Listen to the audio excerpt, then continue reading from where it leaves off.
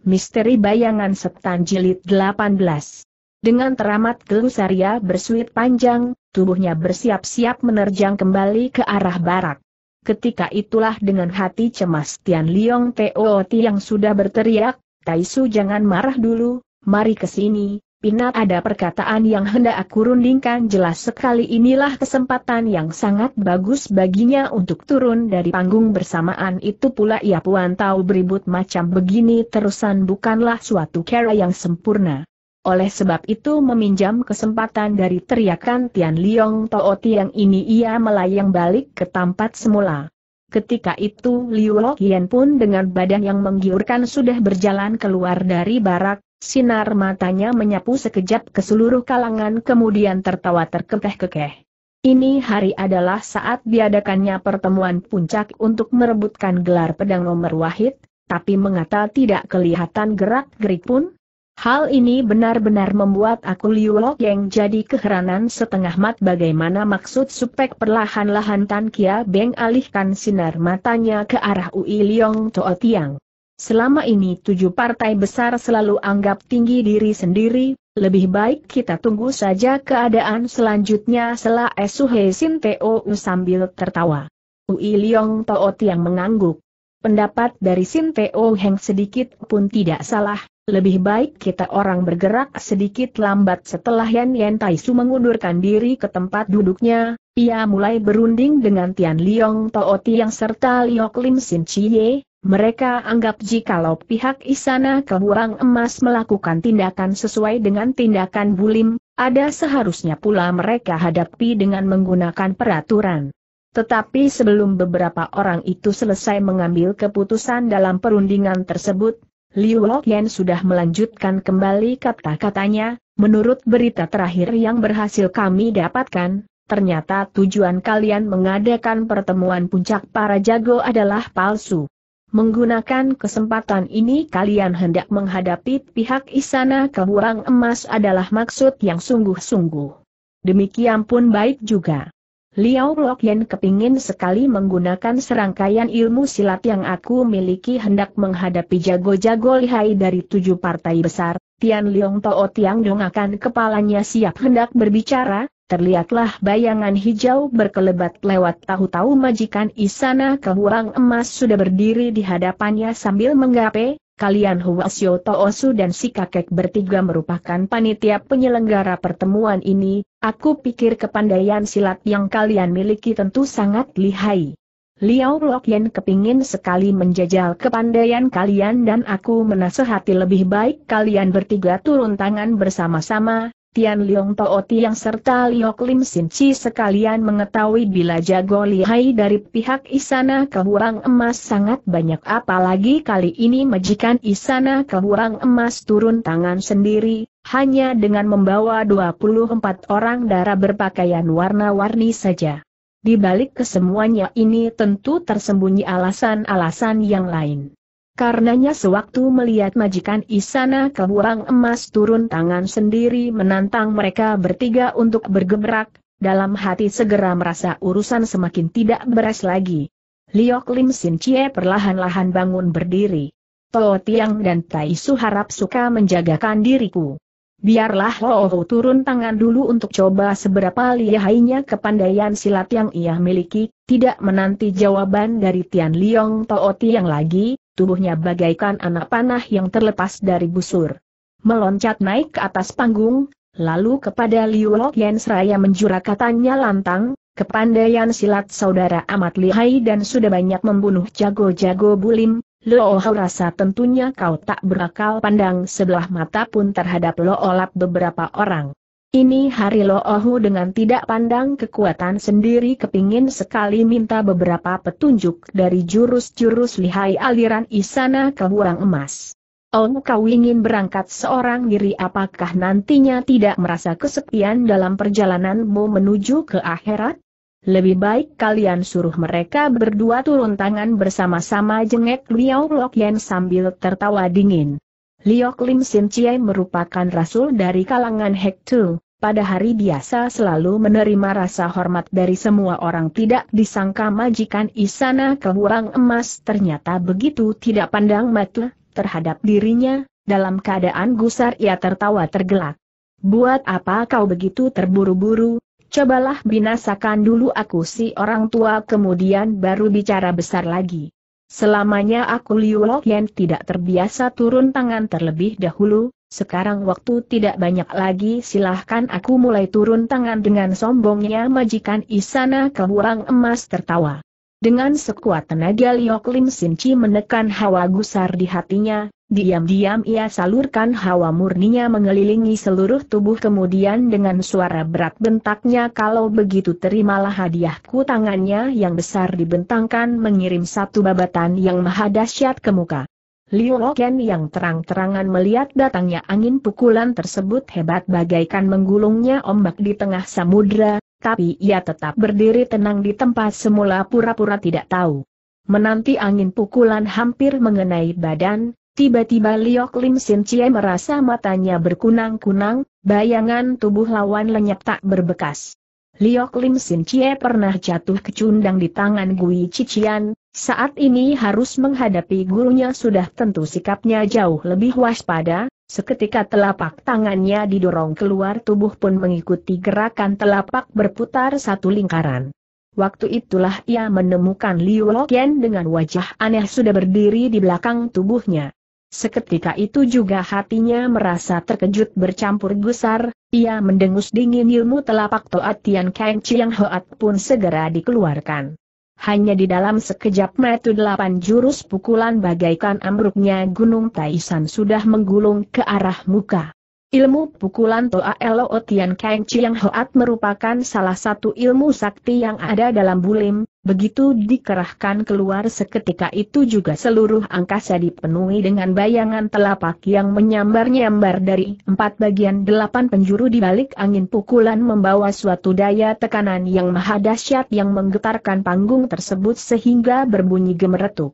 Tubuh Liu Loken yang terkurung di dalam bayangan telapak menarik ke sana kemari, menerobos ke muka belakang bagaikan seekor kupu-kupu ujung bajunya berkibar tertiup. Angin, walaupun angin pukulan tersebut menderu-deru sebegitu dahsyat ternyata tak seujung pangkal pun yang kena tercawil.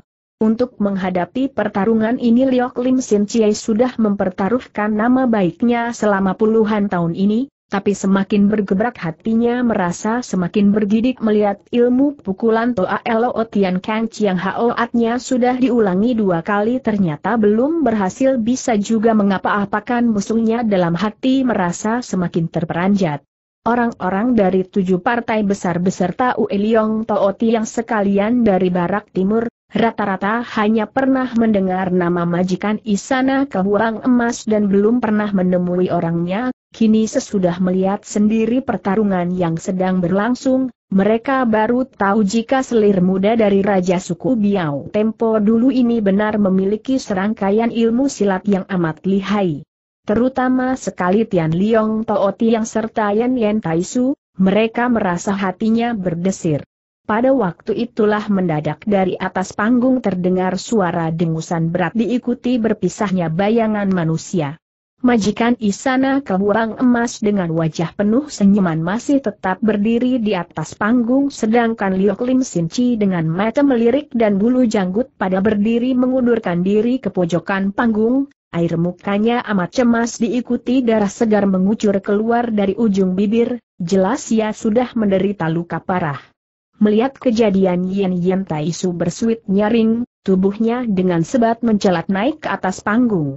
Hiei, Hiei, hiei, bukankah tadi sudah aku katakan, lebih baik kalian turun tangan bersama-sama, kenapa harus? Sungkan-sungkan lagi Eje Liu Yen sambil tertawa cekikikan. Walaupun Tan Kia Beng mengerti jika Luekang dari Yan Yen Taisu sangat sempurna, tapi ditinjau dari sikapnya ia mengerti Hwa tua ini bukan tandingan orang lain. Karena takut ia jatuh kecundang sehingga namanya hancur berantakan, tanpa terasa pemuda itu sudah menggerakkan badannya. Eh, apa yang hendak kau lakukan dengan sebat Suhei Teo menarik tangannya? Aku ingin menemui majikan Isana kehuang emas, buat apa kau begitu gelisah seru Suhei Teo sambil tertawa dingin. Menurut pendapat aku si pencuri tua, Kedatangan Liu Loken yang sama sekali tidak membawa jago-jago lihainya, di balik kesemuanya ini tentu masih terselip suatu rencana busuk. Lebih baik kita menunggu sebentar lagi. Pek Tok Chuncu pun mendengus dingin menurut keadaan pada saat ini. Kemungkinan sekali pihak istana kehuang emas baru akan mulai dengan gerakannya pada nanti malam, kita orang jangan terlalu bertindak gegabah. Ayo pergi mendadak. Suhe Sin si pencuri sakti itu meloncat bangun, kita jangan buang waktu lagi. Percuma di sini menggunakan kesempatan ini. Kita putar sebentar. Tidak menunggu pendapat dari Tan Kia. Beng lagi. Kedua orang siluman tersebut bagaikan dua gulung asap melayang keluar barak dan sebentar kemudian sudah lenyap tak berbekas. Biarkan mereka melakukan pemeriksaan pun sangat baik sekali kata Ue Liong Tooti yang sambil tertawa. Dengan demikian jangan sampai setelah kita kena terjebak oleh siasat musuh masih tidak sadar pada waktu Yan Yan Taisu sudah mulai bergebrak melawan majikan Isana Kehurang Emas, karena sudah dibuat jari oleh kekalahan yang diderita Liok Lim Sin Chie, Begitu turun tangan Hoesio tua itu sudah mengeluarkan ilmu pukulan sakti seratus langkahnya tahu limpak posincian angin pukulan menderu-deru memenuhi seluruh panggung, setiap pukulannya tentu disertai dengan tenaga luar biasa. Tetapi peduli bagaimana dahsyatnya angin pukulan dari Hoesio tersebut, dan sebagaimana ketatnya desakan yang ia lancarkan, Liu Loyan tidak berhasil juga dipaksa mundur. Di tengah menyambarnya angin tekanan, dengan sebat dan lincah ia berhasil balas mengirim satu, dua jurus serangan balasan yang setiap serangannya tentu berhasil memaksa mundur Yan Yan Taisu berulang kali. Yen Yen Taisu sebagai seorang tiang elo dari Xiao Limpai jika dibicarakan dari tenaga luakang mungkin sudah berada di atas 6, 70 tahun hasil latihan. Justru dikarenakan sifatnya yang berangasan, banyak sekali bagian-bagian ilmu saktinya yang tidak berhasil ia pecahkan, oleh sebab itu ilmu lekangnya pun tak dapat melangkah lebih jauh lagi. Ketika itu berulang kali ia mendesak musuhnya sebanyak 30 jurusan, tetapi tak sebuah jurus pun yang mengenai sasaran dalam keadaan mendongkol bercampur gusar ia segera berteriak keras, jika punya kepandaian, coba terimalah jurus serangan dari Loolap ini. Sepasang telapak tangannya diputar lalu digetarkan mendadak ia mendorong satu pukulan ke depan, kali ini pukulannya bukan lagi menggunakan hawa yang keras, sebaliknya menggunakan hawa im yang lunak. Ringan berkibar dan lemah lembut, sama sekali tidak menimbulkan sedikit desiran angin pun. Liao Lokyen mengerti tentu di dalam serangannya ini Huasyo tersebut telah menggunakan ilmu sakti Busyang Sin Kang dari aliran Buddha, tetapi ia tidak pandang sebelah mata pun terhadap kepandaian tersebut. Hei eh hei eh hei justru aku ingin menjajal sampai di manakah kesempurnaan dari ilmu sakti Busyang Sin Kang itu, ujung baju dikebut perlahan ke muka, ia sudah mengirim satu serangan balasan dengan ilmu sakti Hang Mong Chi Hie. Segulung kabut tebal warna hijau secara mendadak muncul dari dasar ujung bajunya langsung mendorong ke arah kepan. Ketika itu masing-masing pihak sudah berhadap-hadapan dalam jarak tujuh di pas saja walaupun kedua orang itu sama-sama melancarkan serangan sepenuh tenaga tetapi para jago lainnya sama sekali tak merasa. Menanti kedua gulung angin pukulan itu sudah bertemu di tengah jalan dan kekuatannya mulai nampak barulah terdengar suara ledakan yang amat dahsyat serasa memekikan telinga. Seketika itu juga di atas panggung muncullah berpuluh-puluh jalur angin putaran yang sangat keras. Berak-berak, berak atap panggung kena tersapu lepas oleh putaran angin pukulan itu diikuti suara gemeratakan yang memecahkan kesunyian. Tubuh Yen Yen Tai Sukontan kena terdorong mundur empat, lima langkah ke belakang. Papan panggung pun ada beberapa bagian yang terpijak hancur. Bayangan hijau berkelebat lewat. Liu Loken pun sudah mundur dua langkah ke belakang tapi sebentar kemudian ia sudah berdiri tegak. Ketika memandang lagi ke arah Yen Yen Taisu, maka tampaklah air mukanya yang merah padam saat ini sudah menjadi hitam membesi. Dadanya bergelombang naik turun tiada hentinya, jelas ia sudah menderita luka dalam amat parah. Melihat Sang Huasyo terluka, Cisi Seng Jin serta Tian Liong Tooti yang sama-sama meloncat naik ke atas panggung satu lari menghampiri Yen Yen Taisu sedang yang lain menyongsong Liu Lok Yen. Yen Yen Taisu yang selama ini sombong dan pandang sebelah mata terhadap orang lain, tidak disangka ini hari telah menderita luka dalam yang amat parah oleh pukulan sendiri.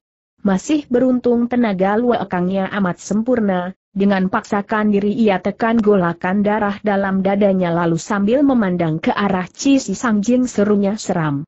Walaupun Pinceng sudah terluka dalam aku pikir ia pun tak bakal lebih parah dari diriku.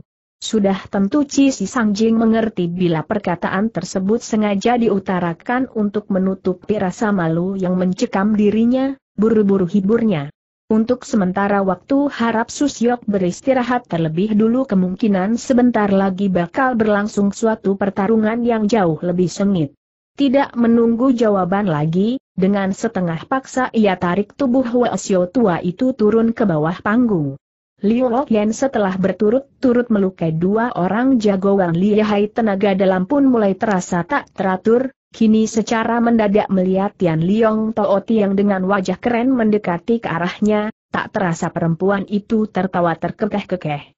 Hei, hei, hei, tadi aku suruh kalian bertiga turun tangan bersama-sama demi menjaga nama baik kalian tidak suka menurut, tidak nyana kalau kalian sebetulnya ada maksud menggunakan siasat roda kereta yang sangat rendah untuk mengalahkan diriku disindir dengan kata-kata itu air muka Tian Liong Tao Tiang berubah jadi merah padam.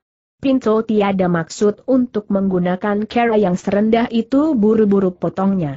Kau boleh mengatur pernapasan dahulu, setelah itu kita baru lanjutkan kembali pertemuan di antara kita, hee, hee, hee, Soal itu sih tidak perlu sekarang juga kau boleh turun tangan melancarkan serangan padahal sebelum berlangsungnya pembicaraan tersebut, perempuan itu sudah mengatur pernapasan, tetapi justru sengaja dia menggunakan kata-kata itu untuk membuat malu mereka dan ternyata siasatnya ini mendatangkan hasil. Bukan saja sebagian besar para jago yang menonton keramaian merasa kejadian ini tidak adil, bahkan Ui Leong, Toh Tiang, Hei Tian Sin Su beserta Tan Kia Beng sekalian pun pada merasa bahwa kemunculan Tian Liong Tooti yang tidak sesuai pada saatnya. Tian Liong Tooti yang sebagai seorang angkatan tua dari pihak Butong Pei, mana mau mengakui dengan begitu saja walaupun majikan Isana Kehuang Emas sudah menantangnya berulang kali ia tidak mau juga untuk turun tangan. Tetapi justru tindakannya ini tepat mengenai sasaran yang diharapkan karena yang diharapkan Liu Loyan adalah mengulur waktu lebih lanjut, diam-diam ia melirik sekejap ke tengah udara. Hari sudah gelap, Seng rembulan pun memancarkan sinarnya di balik awan dalam hati perempuan itu tertawa dingin tiada hentinya, pikirnya, hee, hee, hee, kalian jangan merasa bangga dulu, Setengah jam kemudian suatu permainan bagus akan berlangsung di hadapan kalian, sedang di luaran ia tersenyum. Jikalau Toot yang tidak mau juga turun tangan, Liu Lokian pun akan terima perintah saja ia benar-benar pejamkan matanya dan mengatur pernapasan di tempat itu juga. Tindakannya ini benar-benar berada di luar dugaan tujuh orang Chiang Bunjin dari tujuh partai besar, diam-diam mereka merasa amat gelisah. Sedangkan si pengemis aneh yang duduk di tanah lapang depan panggung pun hampir-hampir tak dapat menahan diri, ia tertawa dingin tiada hentinya. Toosut tua ini benar-benar sangat tolol, makinya sangat keras.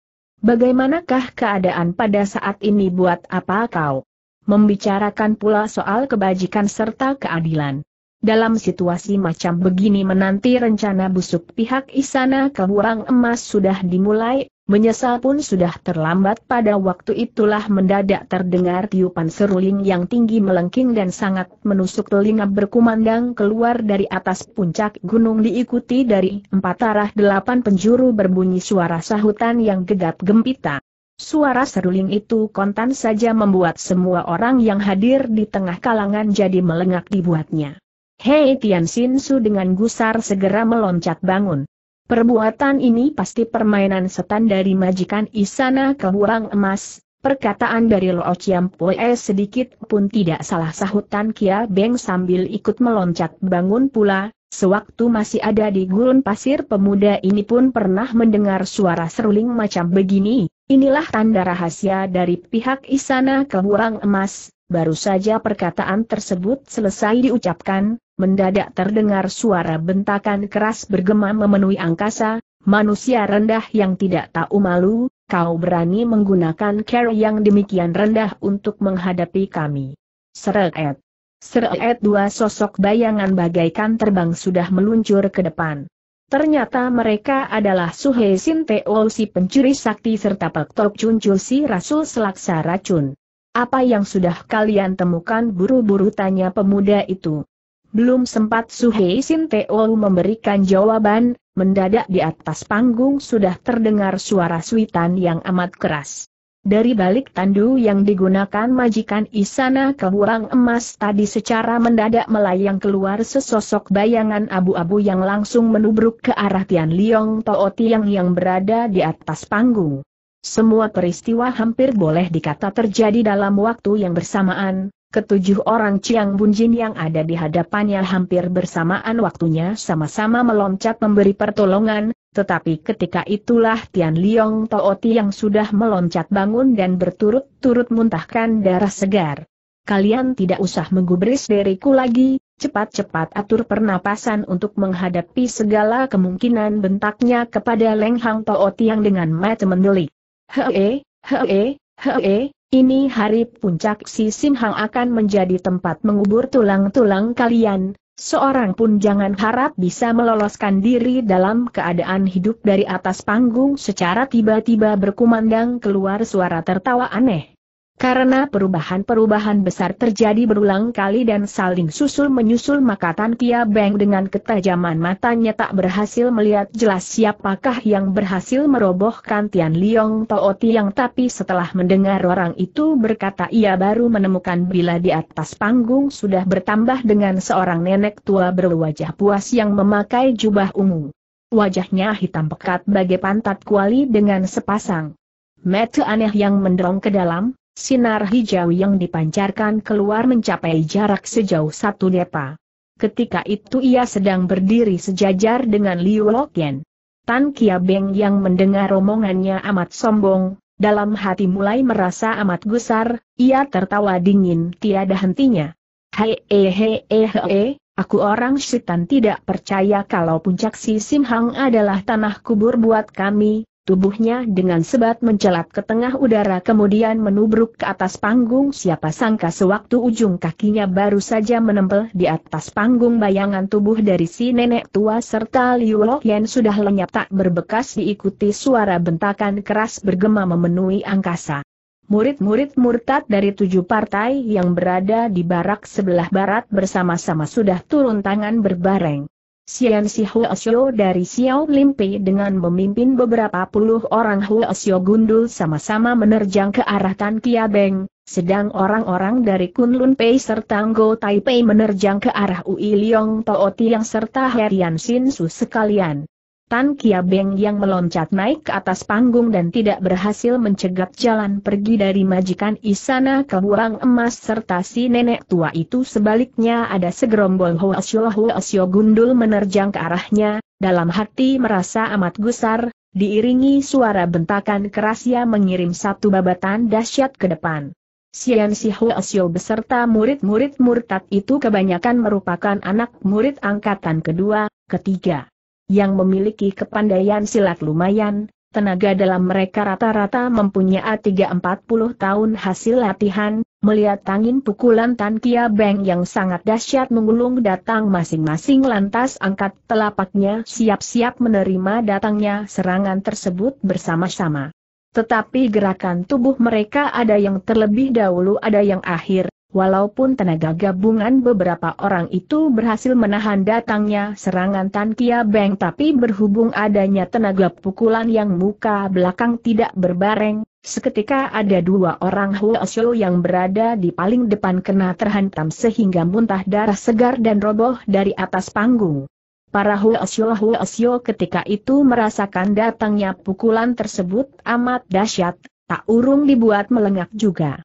Sian Si Huasyo karena takut mereka pecah nyali, buru-buru membentak kembali sepasang telapak tangannya dengan sejajar dada didorong ke depan. Setelah mendengar suara bentakan tersebut para Huasyo lain pun ikut menerjang ke muka sesaat bayangan telapak beterbangan memenuhi angkasa, pukulan angin taupan menyambar dari delapan penjuru. Walaupun Tan Kia Beng membenci Huasyo Solim ini karena tidak tahu diri, tapi untuk sesaat ia tak berhasil meloloskan diri dari kepungan. Demikian halnya pula dengan Ui Liong Toh Tiang, Hei Tian Sin Su ayah beranak serta Pek Tok Chuncu di barak sebelah timur sewaktu mereka hampir meloncat turun dari barak. Mengurunglah murid-murid murtad dari tujuh partai dengan sangat rapat. Suasana di tengah kalangan dengan cepat jadi kacau balau, walaupun orang-orang yang menonton keramaian ada berjumlah 100-200 orang dan di dalamnya terdapat pula jago-jago lihai, tapi mereka tiada berkesatuan dan tiada bertujuan setelah terjadi urusan buru-buru mereka sama-sama menyingkirkan diri jauh-jauh. Hanya pihak Kei Pang serta anak murid tujuh partai saja yang masih tetap mempertahankan ketenangannya. Suara tiupan seruling dari empat penjuru makin lama semakin kencang, tinggi melengking menyeramkan hati, tapi sama sekali tidak kelihatan juga sesuatu gerakan. Si pengemis aneh yang melihat Tan Kia Beng sekalian kena terkurung rapat oleh murid-murid murtad tujuh partai, saking hekinya sepasang matanya memancarkan cahaya hijau, sambil menuding ke arah ketujuh orang Ciang Bunjin partai besar bentaknya keras kalian semua sebagai seorang Ciang Bunjin mengapa tidak menguasai anak murid sendiri pun tidak becus, inilah yang disebut partai besar kalangan lurus kena dimaki oleh si pengemis aneh. Air muka Ci Si Sangjien berubah jadi memerah sambil bentaknya keras kakinya ke atas tanah ia menghela napas panjang. Tidak kusangka permainan catur kita kali ini sudah salah ambil jalan sehingga menemui kekalahan, satu-satunya jalan pada saat ini hanyalah berdasarkan kemurahan hati hutya kita bereskan dahulu manusia-manusia murtad tersebut. Habis berkata ia lantas meloncat ke depan untuk menerjunkan diri ke dalam kalangan. Hee, hee, hee, apa kau kira dengan berbuat demikian lantas bisa meloloskan diri dari kurungan jengek si pengemis sambil tertawa dingin? Jika kau kalian ikut menerjunkan diri ke dalam kalangan, bukan saja tidak akan membantu tenangkan suasana sebaliknya akan menciptakan keadaan yang semakin kacau. Coba kalian pikir kamu semua adalah sama-sama Huasyo serta Toosu, secara bagaimana kalian hendak membedakan mana kawan mana musuh? apalagi majikan Isana Keburang Emas justru hendak memaksa kalian untuk berbuat demikian sehingga ia bakal jadi nelayan untung yang tinggal menarik rejeki, menurut pandangan aku si pengemis, walaupun jumlah murid murtad banyak tapi belum tentu mereka bisa mengapa-apakan musuhnya. Tujuan kita yang terutama pada saat ini adalah secara bagaimana menghadapi serbuan dari orang-orang Isana Keburang Emas, Mendengar perkataan itu Ci Si Sangjien lantas menarik kembali badannya dan meloncat mundur ke belakang, ia berpaling ke arah Leng Hang Toa Tiang. Bagaimana menurut pendapat Tu Heng walaupun pada hari biasa Leng Hang Toa Tiang bersikap ramah tapi melihat perubahan besar yang berlangsung di hadapan matanya ia tak dapat menahan golakan di hatinya lagi. Harap semua partai suka membentuk barisan untuk mempersiapkan diri terhadap serangan lawan. Pinca punya care untuk menghadapi murid-murid murtad tersebut. Anak murid yang dibawa oleh tujuh partai besar kali ini kebanyakan merupakan jago-jago pilihan yang rata-rata memiliki kepandaian dahsyat. Walaupun saat ini keadaan sudah amat kritis tapi tak kelihatan sedikit sikap gugur atau kaget pun di antara mereka. Setelah Leng Hang Teo Tiang berseru, semua orang pun tersadar dari lamunan, demikianlah pihak Kun Lun Pei serta Butong Pei masing-masing mengatur barisan Kiau Kong Pat Kwa Kiam Tinnya, sedang anak murid Xiao Lim Pei mengatur barisan Elo Han Tinnya yang terkenal sangat kokoh dan ampuh. Sebaliknya pihak Go Pei serta Go Taipei empat partai membentuk barisan Susiang Tin yang sangat besar, di bawah sorotan sinar rembulan terlihatlah wajah setiap orang penuh dilapisi oleh nafsu membunuh yang berkobar-kobar. Pada waktu itu suara seruling sudah berhenti berbunyi, Suara jeritan ngeri saling susul menyusul bergema dari punggung gunung, tidak usah diragukan lagi tentu orang-orang Kangou yang datang menonton keramaian sudah menemui ajalnya di tengah jalan. Dengan wajah serius Leng Hang Tooti yang menyapu sekejap ke seluruh kalangan, melihat anak murid tujuh partai besar sudah bersiap sedia, sedang anak murid Kei Pang pun telah menyebar di lapangan yang luas sambil menarik tangan Cisi Sang Jian ia baru meloncat ke arah Tan Kia Beng. Murid-murid murtad macam itu sudah sepatutnya menemui kematian bentaknya keras. Harap Tan Sau Hiap serta Tai Hiap sekalian suka turun tangan kejam, tidak usah menaruh belas kasihan lagi kepada mereka, dan maafkan pintu sekalian tak dapat ikut campur. Haa, haa, haa, sekalipun kau tidak berbicara mereka pun tak bakal mendapatkan kebaikan sahut Suhei Sin Teo sambil tertawa terbahak-bahak. Terdengar suara jeritan ngeri berkumandang memenuhi angkasa, seseorang anak murid Kun Lun Pei sudah kena dibabat sehingga tubuh beserta pedangnya mencelat satu kaki tingginya ke tengah udara. Diikuti Hietian Sin Su, Ui Liong Tao Tiang serta Pak Tok Cuncu sekali dengan mengerahkan tenaga luakangnya yang amat sempurna membabat rubuh beberapa orang. Walaupun jumlah murid-murid murtad itu ada lima, enam puluh orang banyaknya tetapi dengan kekuatan mereka tidak mungkin bisa menandingi keempat orang manusia aneh yang sudah tidak dalam bulim, ditambah lagi sebilah pedang pendek Leng Teo Osian yang tajam dan ganas, di mana cahaya hijau berkelebat lewat, musuhnya kontan terkurung dalam tekanan pedangnya. Tidak selang beberapa saat suara jeritan ngeri semakin sering terdengar, sekalipun orang-orang itu menyeleweng karena hasutan pihak istana keburang emas tapi di dalam pandangan Leng Hang Tooti yang ia merasa tidak lega, setelah menghela nafas dan geleng kepala ia putar badan lantas berlalu, oh oh nol, dewe nol oh, oh. Kita balik pada Tan Kia Beng yang begitu munculkan diri lantas terkurung oleh murid-murid murtad dari Xiao Lim Pei. Walaupun dalam hati merasa mendongkol bercampur gusar tapi ia tidak ingin keluarkan seluruh tenaganya.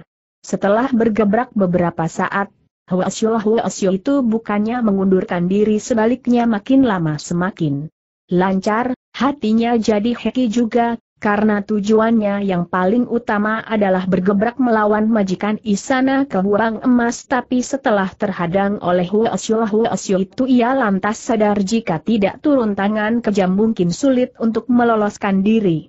Hawa murni disalurkan mengelilingi seluruh tubuh, setelah membentak keras berturut-turut ia mengirim dua buah pukulan yang sangat dahsyat ke muka. Tenaga dalam yang dimilikinya saat ini benar-benar luar biasa, laksana gulungan angin taupan menghantam dua orang Huasyo yang berada di paling depan sehingga muntah darah segar dan bagaikan peluru ketepil mencelat jauh dari atas panggung. Kejadian ini membuat para Huasyo lainnya rada tertegun dibuatnya. Dalam waktu yang amat singkat kembali Tan Kia Beng melancarkan serangan dengan menggunakan ilmu pukulan Xiao Xiang Chiat Chiang, hawa pukulannya lembut tak bertenaga tapi menerjang tiada berkeputusan, Seketika ada beberapa orang Huasyo kembali terpukul luka. Pada mulanya karena di tempat itu ada majikan Isana Kehurang Emas bertindak sebagai tulang punggung, para murid murtad ini masing-masing bersemangat tinggi dan berusaha untuk menunjukkan baktinya kepada sang majikan.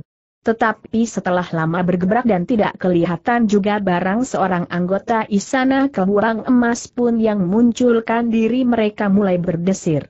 Diam-diam Sian Si Huasyo melirik sekejap ke samping, ketika dilihatnya tujuh partai besar sudah membentuk barisan di empat penjuru sedang Tan Kia Beng sekalian walaupun berjumlah sangat kecil tapi setiap orang memiliki kepandaian yang luar biasa dan keenam tujuh puluhan orang yang mengerubuti dirinya tidak selang beberapa saat sudah ada dua puluh orang yang meninggal atau terluka dalam hati lantas sadar jika pertempuran ini diteruskan lebih lanjut, maka seluruh pasukannya bakal musnah. Terburu-buru dalam hatinya mengambil keputusan untuk mundur, mendadak ia menarik kembali serangannya seraya membentak keras, kita mundur dulu. Biarlah mereka dibereskan oleh orang-orang kita, tubuhnya langsung meloncat turun tadi atas panggung dan siap melarikan diri diikuti kepala-kepala gundul lainnya. Begitu murid murtad Xiao Limpei mengundurkan diri, Toosu Toosu murtad lain ikut mengambil tindakan yang sama, mereka sama-sama menarik kembali serangannya sambil menerjang keluar dengan terbirit-birit. Sejak permulaan Tan Kia Beng memang ada bermaksud untuk bergebrak melawan manusia-manusia tersebut melihat mereka membubarkan diri ia pun tidak melakukan pengejaran, tubuhnya dengan ringan melayang turun ke atas permukaan tanah. Hei Tian Sin Su beserta Ue Liong Tooti yang sekalian pun semakin tidak ingin bergebrak lebih lanjut, melihat mereka mengundurkan diri dengan sendirinya beberapa orang jago tua ini pun pada berhenti bergerak.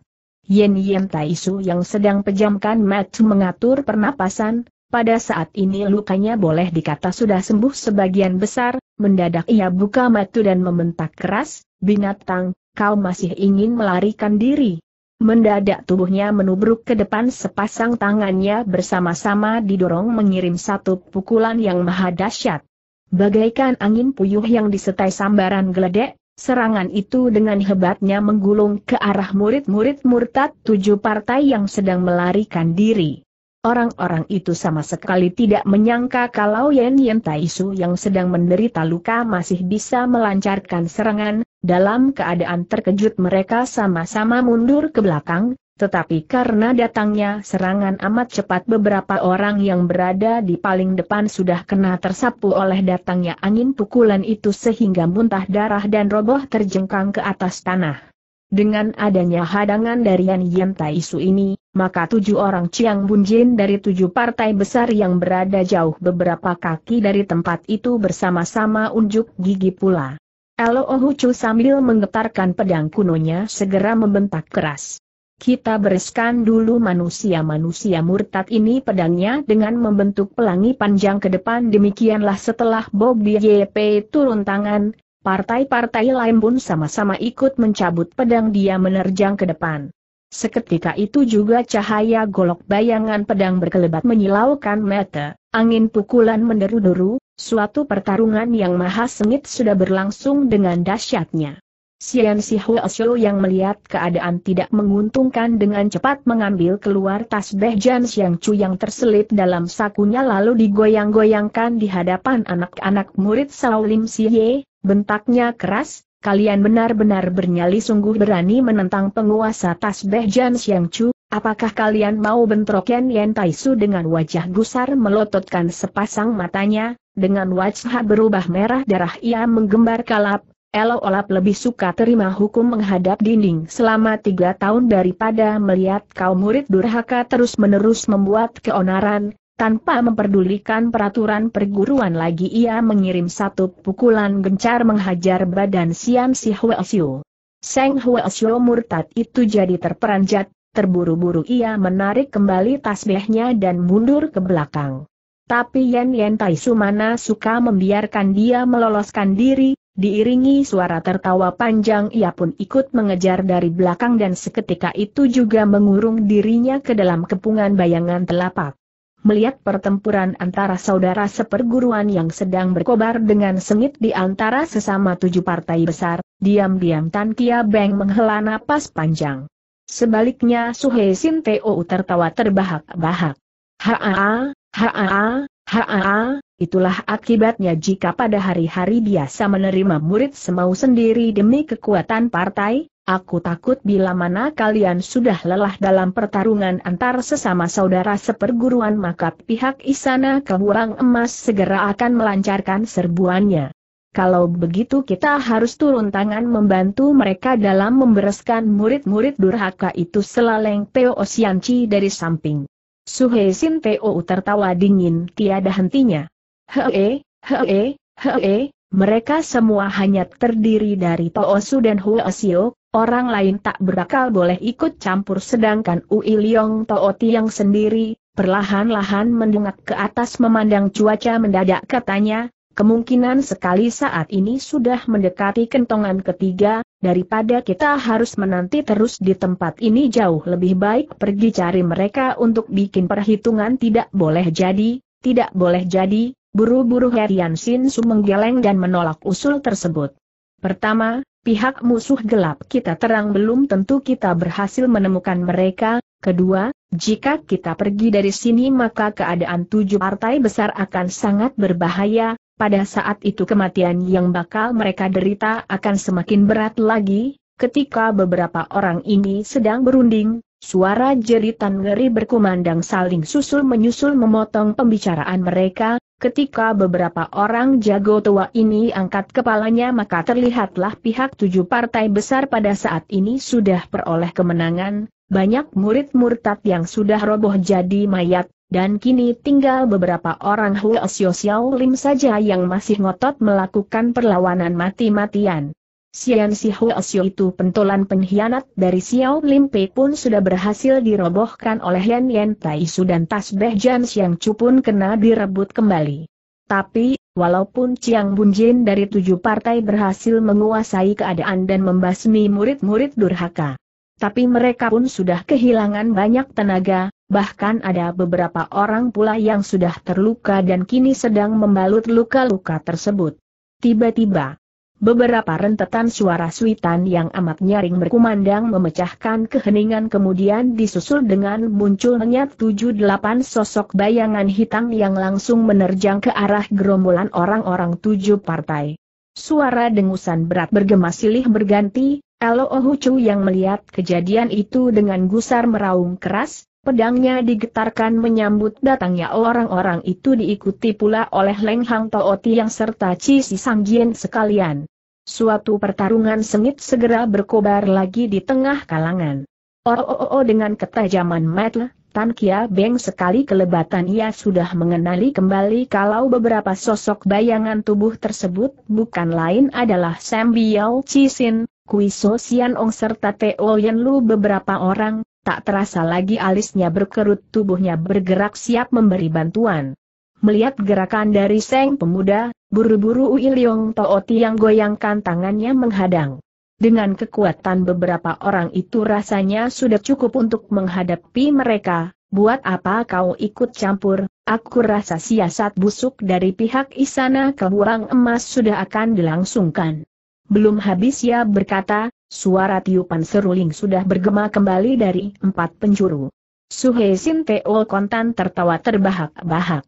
Haa, haa, haa, bagaimanapun manusia tidak pernah selamanya melakukan pekerjaan bersembunyi-sembunyi bagaikan cucu kura-kura ejeknya.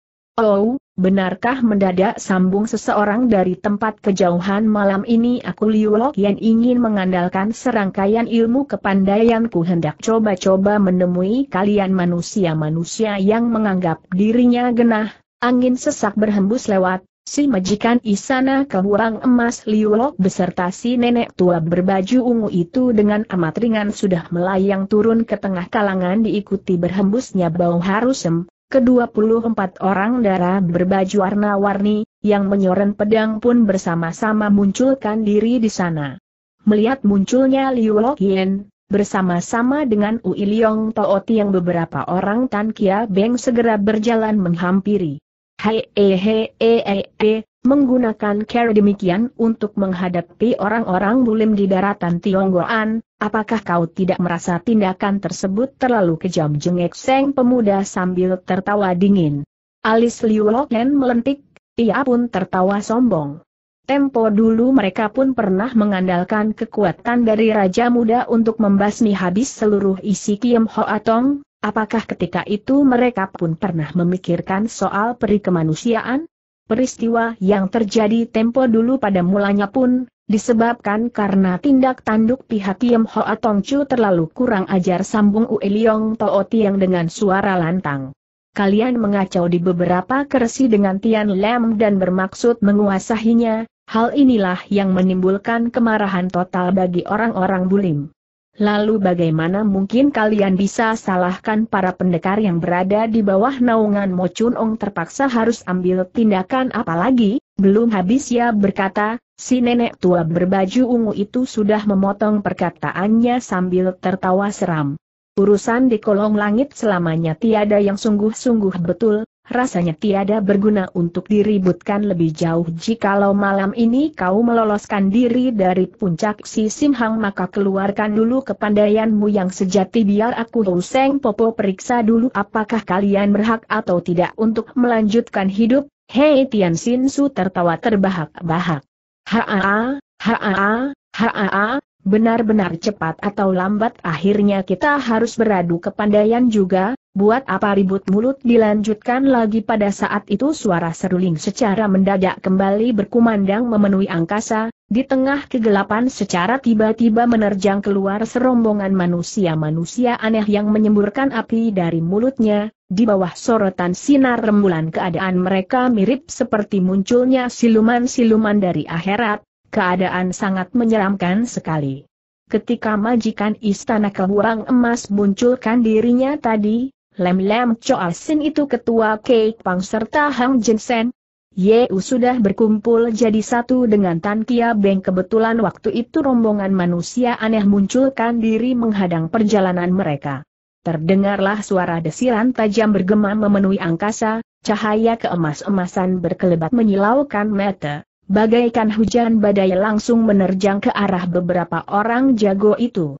Awas senjata rahasia Pak Cukiem Wuyen Wei Chiam, cepat cabut keluar senjata bentak si pengemisan yang cepat. Masih beruntung anak murid pihak Kei Pang selalu mencekal tongkat penggebuk anjing di tangannya, buru-buru mereka pada menggerakkan senjatanya untuk menangkis walaupun begitu masih ada juga beberapa puluh orang yang terluka oleh serangan tersebut, Kejadian ini kontan saja membuat Seng Pangcu jadi mencak-mencak kegusaran, sambil gerakan telapak tangannya ia terjang manusia aneh tersebut. Gerombolan manusia aneh ini bukan lain adalah barisan Pekui Ye Uhun Tin yang pernah ditemui Tan Kia Beng sewaktu berada di gurun pasir, begitu tiba di tengah kalangan dengan cepat mereka sudah mengurung seluruh anak murid Kepang ke dalam barisan. Tan Kia Beng yang melihat kejadian ini dari tempat kejauhan, segera mengerti kalau pihak istana kehuang emas sudah kerahkan seluruh tenaga yang dimilikinya untuk berusaha merebut kemenangan pada malam ini. Maka tubuhnya dengan cepat menerjang ke depan, kepada Liu Yen sambil menjura katanya, Selamat berjumpa, selamat berjumpa tenaga Luo Kang Hang Mong Chie Hie saudara memang benar-benar menjago seluruh bulim, malam. Ini aku orang setan memandang kekuatan sendiri ingin minta beberapa patunjuk dari dirimu, ak ah ah. Tan Heng tidak usah terlalu sungkan-sungkan, sahut Liu Yen tersenyum. Jie Kun Yen Chin Hiemu jauh lebih dahsyat, Liu Yen sudah lama mengaguminya, perasaan hati Tan Kia Beng pada saat ini penuh diliputi ketegangan. Majikan Isana Kehuang Emas yang misterius dan kejam sudah berada di depan mata, dan karena ia sudah pernah bergebrak melawan murid tertuanya Cilanpak dengan berkesudahan seri maka ini hari dapatkah dia menangkan pertarungan tersebut rasanya masih merupakan suatu teka-teki. Tapi ia tak merasa jari diam-diam hawa murninya disalurkan mengelilingi seluruh tubuh siap melancarkan serangan. Kiranya perasaan tegang tidak hanya menyerang pada Tan Kia Beng seorang, melainkan Ue Liong Toh Tiang, Hei Tian Sin Su, Tek Tok Chun Chu serta Su Hei Sin Teo pun sama-sama merasa suasana semakin tegang, mereka paham bila kepandaian silat yang dimiliki majikan Isana Kehuang Emas benar-benar sangat luar biasa dan sukar untuk dibendung. Sebaliknya Liu Yen sendiri walaupun di luar bersikap sangat sungkan, tetapi diam-diam hawa murninya sudah disalurkan mengelilingi seluruh tubuh, karena ia sudah dua kali menjajal kepandaian silat yang dimiliki pemuda ini dan mengerti bila dalam dunia Kangong saat ini hanya pemuda ini seorang saja yang bisa menandingi dirinya, jika malam ini ia tak berhasil menyingkirkan lawan tangguhnya ini maka impian untuk merajai bulim rasanya sukar untuk terpenuhi. Sekarang kedua orang itu sudah berdiri saling berhadapan, masing-masing pusatkan pikiran untuk bersiap sedia dan siapa pun tidak ingin turun tangan terlebih dahulu. Mendadak, terdengar suara jeritan ngeri berkumandang saling susul menyusul, Ketika pemuda sitan ini melirik sekejap ke samping maka tampaklah beberapa orang anak murid dari tujuh partai besar sudah banyak yang dirobohkan di tangan Sam Biao Cisin sekalian.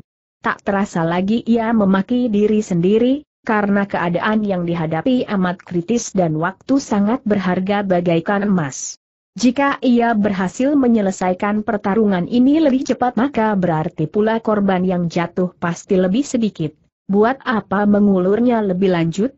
Secara mendadak telapak tangannya diputar satu lingkaran, kemudian dengan suara keras bentaknya, harap kau bersiap sedia, aku orang syaitan segera akan turun tangan telapak tangannya dengan ringan ditekan ke muka, serangan tersebut datangnya sangat lambat sekali bahkan sedikit pun tidak membawa angin pukulan, mungkin sekalipun mengenai sasaran tidak akan menimbulkan rasa sakit.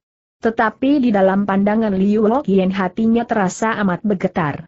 Walaupun dia memahami ilmu silat dari berbagai partai tapi serangan macam begini baru ditemuinya untuk pertama kali. Ia pun tidak berani berlaku gegabah untuk menerima datangnya serangan tersebut tubuhnya berkelebat dua langkah ke samping ujung bajunya kontan digetarkan mengancam jalan darah Cie Tai Hiat pada lengan kanan pemuda tersebut. Tan Kia Beng dengan sebat menekan lengannya ke bawah, tangan kiri dengan jurus Kiem Leong Sian Ken atau naga emas mengembang cakar balas mengancam jalan darah Cibun Hiat dari Liao Lokien. Liao Lokien menggetar ujung bajunya dengan gerakan Kiem Leong Chiao Chien atau naga emas saling menggunting menghajar pergelangan Tan Kia Beng sedang kakinya laksana sambaran petir melancarkan serangan berantai. Tan Kia Beng tertawa panjang, badannya meloncat ke tengah udara, sedang sepasang telapaknya digetarkan berulang kali, cepat laksana sambaran kilat, dahsyat bagaikan angin taupan, hanya dalam sekejap mata ia sudah mengirim 18 buah serangan gencar. Ujung baju hijau Liu yang berkibar tubuhnya bagaikan seekor kupun-kupu beterbangan di tengah kurungan bayangan telapak seng pemuda, saat itu juga ia mengirim serangan balasan.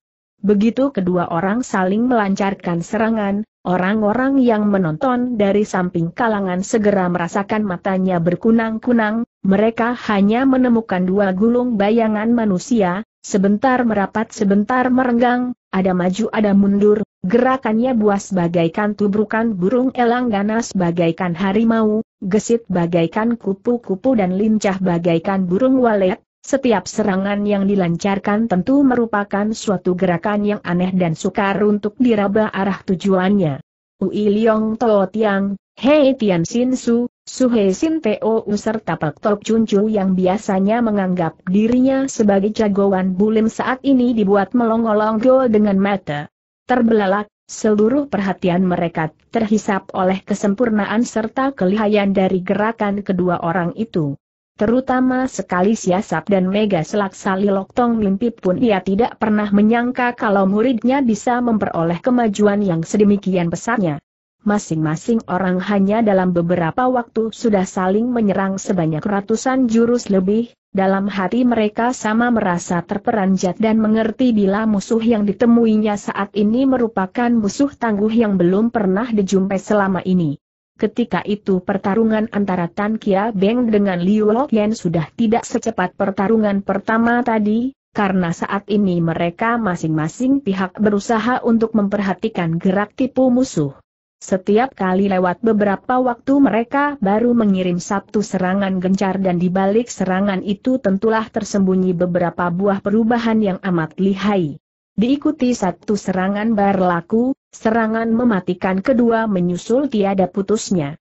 Majikan Isana Keluang Emas harus mengeluarkan seluruh kepandaian yang dimiliki untuk menghadapi pihak lawan, sebaliknya Tan Kia Beng pun harus mengeluarkan semua kepandaian yang didapatkannya dari kitab pusaka Teh Leng Chin Keng serta Sian Tok Peo Oliok. Pertarungan yang mendebarkan hati ini berturut-turut berlangsung selama satu jam lebih di bawah sorotan sinar rembulan, tetapi masing-masing pihak tidak juga berhasil menentukan siapa menang siapa kalah.